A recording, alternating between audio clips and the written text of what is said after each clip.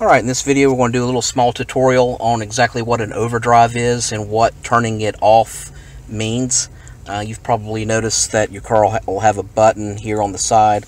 Um, and this this particular vehicle is a Nissan Altima, but this can work with a Ford or Toyota or whatever vehicle you have.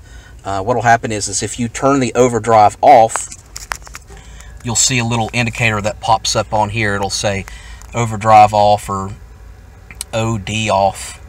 And um, your car is actually meant to be driving in overdrive. And what overdrive is, it means that you you can drive to the fourth gear, to the, the highest gear. Um, if you turn it off, and you probably noticed if you hit that button, your performance goes down and it seems sluggish. Um, a couple things happening there. Number one, you can't go into a fourth gear, and also your your vehicle, your engine is actually running harder um, when you turn it off, and um, it'll actually reduce uh, fuel efficiency, make the engine and transmission run harder.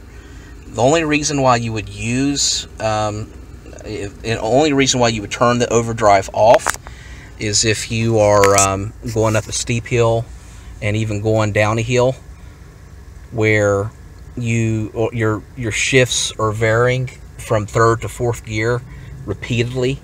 And um, that'll actually it's not good for your um, your clutch. It'll it'll warm the clutch up and actually wear it down and wear the gears down. And also it's just annoying. So you will want to um, you know turn it off if you're going up a hill or down a hill.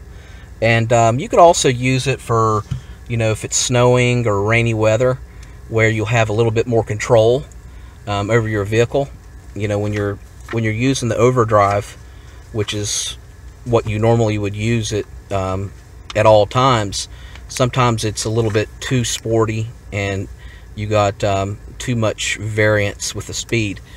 With um, with the overdrive off you would um, you would notice you would well, you would actually do that in order to have more control over your car and your engine and and the uh, engine brake all right so I'm going to show you right now what it does while you're driving.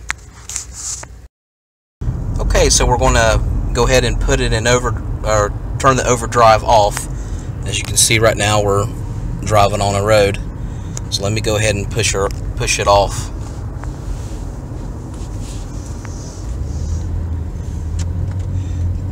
Okay if you can hear my engine's going a lot harder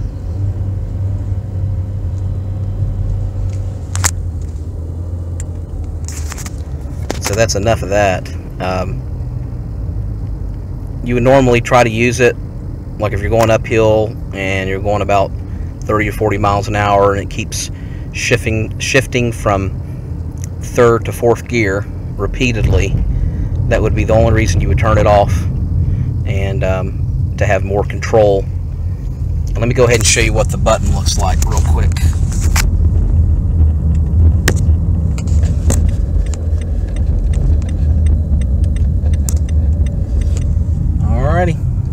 watching.